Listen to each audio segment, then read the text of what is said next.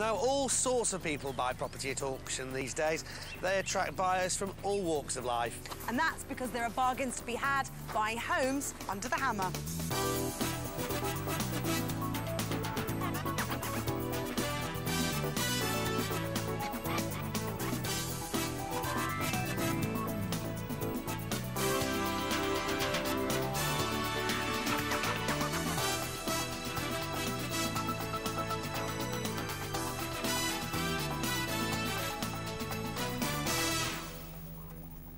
Well, there's a huge variety of buyers and a great selection of properties when you go to an auction. It really is, though, a race to get the best bargains. Now, you have to be in it to win it. Let's see what's featuring on today's programme. In Derby, there's an auction lot that's just a plot and a garage. It may not have a property. What it does have is potential. You could face problems in Kent trying to sniff out a bargain. No nose on that one. No nose on that one. Not an attractive look. And this Lancashire semi has a big kitchen, spacious lounge, and large bedrooms. However, what is going on at the end here? This is really strange. All of these properties went to auction. Find out who bought them and what they paid when they went under the hammer. That's yours.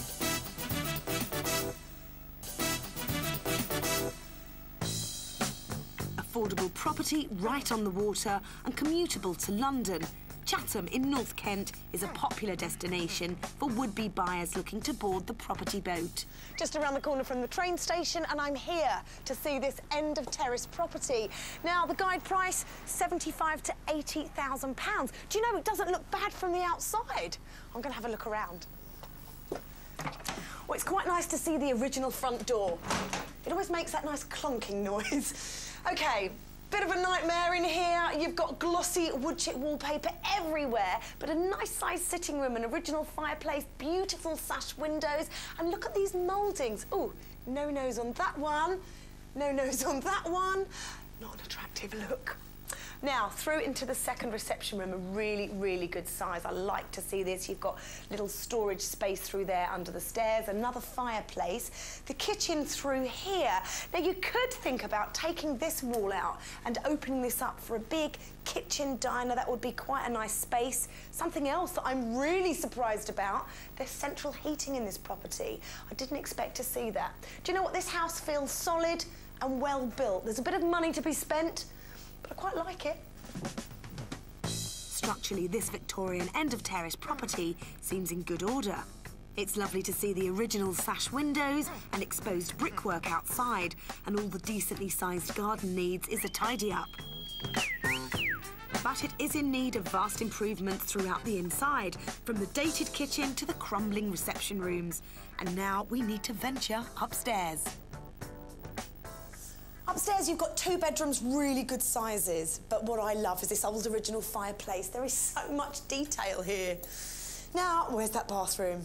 Typically, it's off this room. You could just leave it where it is, or you could create a corridor along here and along this wall here. So you come in this way, keeping this bedroom separate with the window. It will make this bedroom so much smaller, but you could look at taking this chimney breast out, which I think would give you the extra square footage you need. This definitely requires a rethink, but creating a corridor to the bathroom will make this house much more attractive to both buyers and tenants. Baby, I don't care. So what will a local estate agent make of this place that had a guide price of 75 to 80,000? The downside at the moment is that it's got a, the bathroom is off a bedroom. But the one thing I do really like is that whoever's had it before has left the fireplaces alone. So even in the bedrooms, it has got the original fireplaces. So we know the pros and cons of the property. What would be the best way of bringing it back to life? It really depends what the new owners are going to do with the property. But I do think they're going to have to get rid of the windows and put double glazing in, sadly. They need to treat the damp, upgrade the kitchen and the bathroom, and also get rid of this wood chip paper that really is very dated.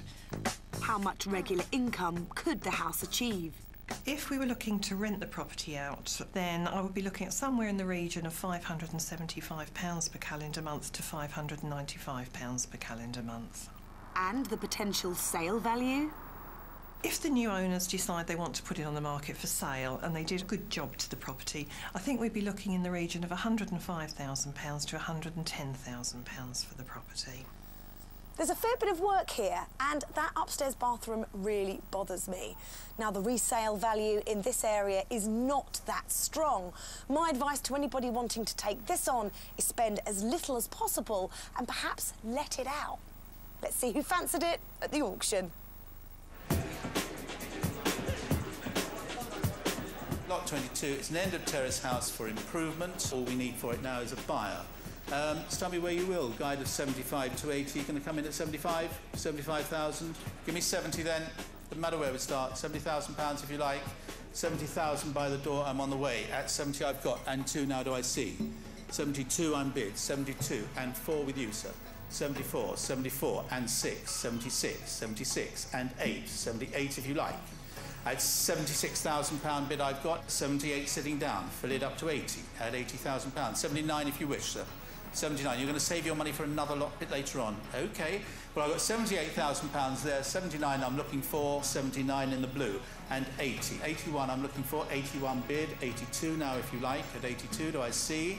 82,000 I'm looking for, a well done at £81,000 then, sitting down on the right for the first time, for the second time, third and final time at £81,000. Yours, sir, at 81, and that's A897. Thank you. Winning the auction with his bid of £81,000 was Steve, who purchased the property along with Ashley. The two used to be neighbours and have known each other almost 30 years. This is their first investment property purchase. When you've got friends and neighbours, all the world is a happier place.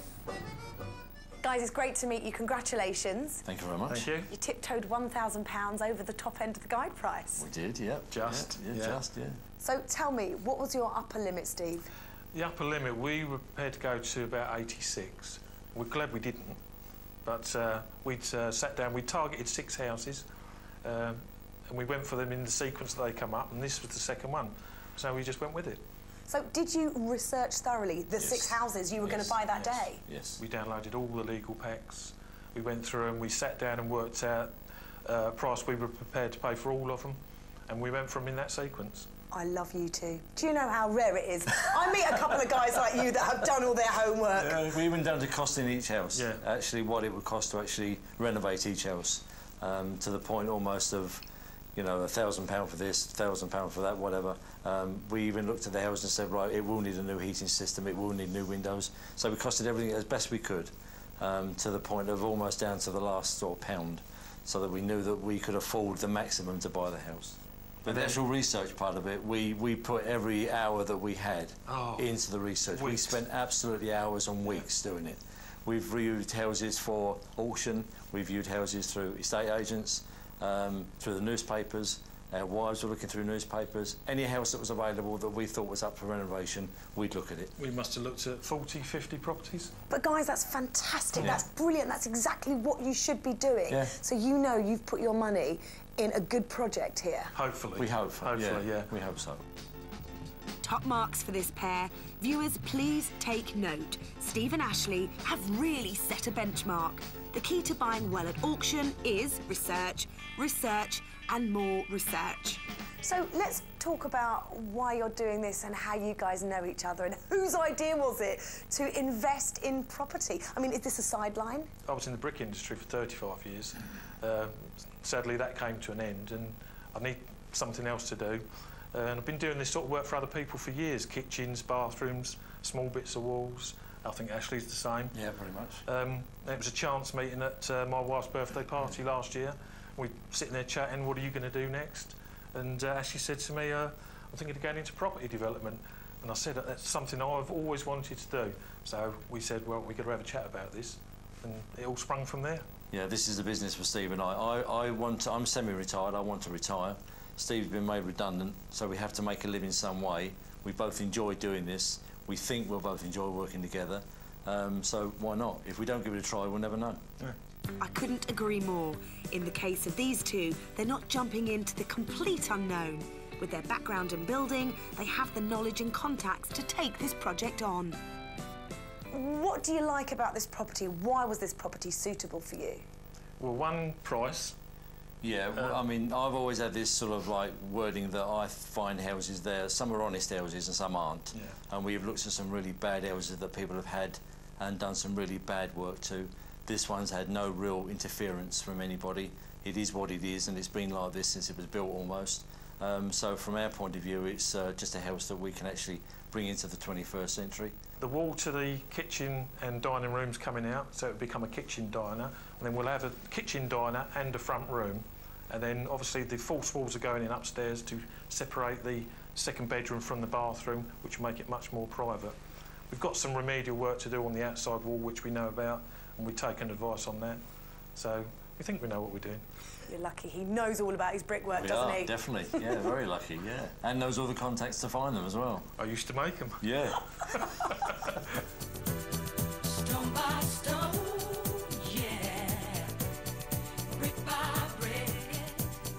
So, with experience under their belts and enthusiasm aplenty, I think these two could have a winning formula. But did all their pre auction planning leave them any time to plan ahead? So tell me, guys, what's your timescale? How quick do you think you can turn this place around? We're looking to be um, two to no more than three months. Three months tops. Two months would be good. One month would be even better. What is the ceiling price of this property? Have you done your research to find out what the top end of this is? Yeah, we've, we've done some research in this area. These houses normally fetch somewhere in the region of 105, 110,000 against similar properties. Um, with our buy price of 81, we've got a budget of around about 8,000. With the other costs, we think that's quite viable. My only concern is that you've got to try and stick to that budget because this We is are a going to. money-making Yeah. machine for Yeah. you. It's all about getting the money and moving on to the next Moving one. on to the next project, yeah. Yeah. Well, I wish you the best of luck with this. Thank you very much. It's going to be you. quite exciting seeing what you do. Thank you. Thank you. Good luck. Everybody needs good neighbours, but these two get on so well, they've decided to go into business together. There is a lot of work for the duo here, and I worry that Ashley's honest house may prove to throw up a few issues. In my experience, houses can be very dishonest, disguising a whole host of problems. How will they get on? Well, you can find out later on in the programme. It's been a while now since we last saw those properties. Has any work been done or do they look exactly the same? Let's find out. Time to head back to Chatham in Kent. When you've got friends and neighbors, all the world is a happier place. Well, old neighbours, stroke new property developers, Ashley on the right here, and Steve purchased this Victorian end of terrace for 81,000. But they didn't jump into this refurbishment before doing their research. Reviewed houses for auction, we viewed houses through estate agents, um, through the newspapers. Our wives were looking through newspapers. Any house that was available that we thought was up for renovation, we'd look at it. We must have looked at 40, 50 properties. But guys, that's fantastic. That's brilliant. That's exactly what you should be doing. Yeah. So they get a gold star for being armed with information. But will they get a gold star five months later when we return to see how they've got on with the work?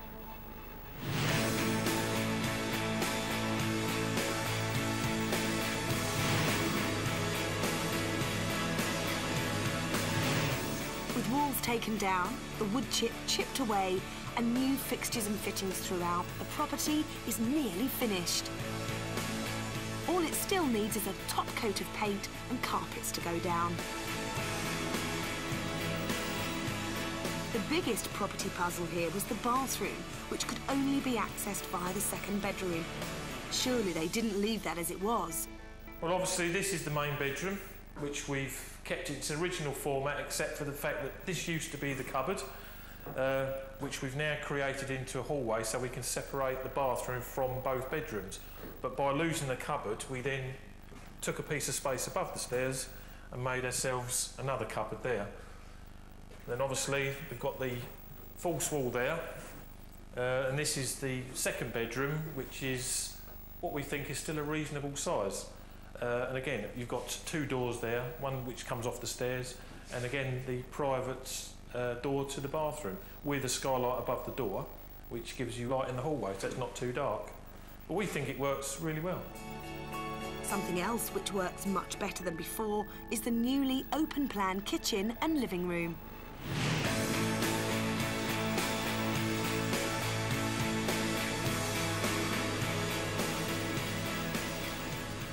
Well, as you may remember from the first time you came here, there was a wall here dividing the uh, dining room and the kitchen, which we took out. Here we had a chimney breast, which we've had to take out to square up the, the kitchen, and then we've laid laminated flooring and fitted a fully fitted kitchen. And it's a nice open space. It gives a proper uh, sort of sense of openness where you can actually be uh, what people like these days to be able to cook and to be able to talk to their company if they've got any. This wall that was here before was just wasted space. You couldn't do nothing with it. It restricted how much cupboard space you had. So by taking that wall out, it just made the kitchen so much bigger. They also ditched the dirt that was piling up at the side of the house and put it to excellent use. We cleared, I think it was about four tonne of dirt, but we actually reused that dirt in our back garden. And we levelled the garden off now and put a small wall around it. We've turfed the garden and we've put fencing all the way around the garden now so it gives that privacy as well. Steve and Ashley had planned to spend £8,000 on the renovations. Straight after we said that, we looked at it and then decided to fit within that budget, we'd have to do everything cheaply, and we didn't want to do No, it we didn't, cheaply. no. So we haven't gone too dear, but we've we've bought some nice fixtures and fittings. So they ended up spending £9,500 on the work. Achieving the good finish they wanted took five months rather than the original two to three they'd hoped for. But this was the boys' first project together. It proved an excellent learning curve and not just about property developing. You think you know someone because you've known her 28 years, but you don't really, do you? don't you? He, he absolutely hates my singing.